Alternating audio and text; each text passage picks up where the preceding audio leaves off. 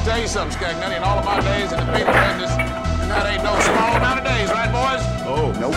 Ricky and Mallory Knox are without doubt the most twisted, depraved pair of shit fucks it has ever been my displeasure to lay my goddamn eyes on. I'm telling you, these two motherfuckers are a walking reminder of just how fucked up this system is. Don't get me started, okay, Warriors? Don't get me started. Dwight. You call me Dwight.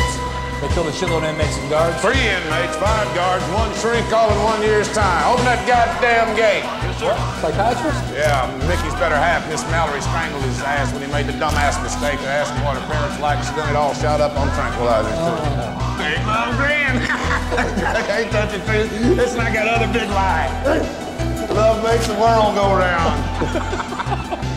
hey, how's it? I need to talk to you about How's a fellow like you get to be a specialist in psychos anyway? Well, actually, Dwight, I'd recommend having your mother killed by one. After that happened, I developed a rather keen interest in the subject. You know? What happened? Well, I was born in the first part of my life in Texas. Oh, that's funny. You don't have an accent. I don't want to talk like those assholes. Well, you know, my, my mother was from Texas. I meant those other assholes. I used to beat the shit out of me. An- Anyway, one day when I was eight years old, my mother. I went out, I went out to play in the park. Hey, go on. I just so happened to be the same day Charles Whitman, he climbed to the top of the University of Texas Tower and started shooting strangers. And you was with her. Sure was. You see, the thing is, Dwight, I didn't hear any shots. I didn't hear any of them. Now, one minute I'm walking with my mother, and all of a sudden, chest explodes. She hits the ground, right? And I'm just looking at her. Her forearm flies off, her hip explodes, and I'm not hearing any of these shots, right? Boom! The chest explodes, right?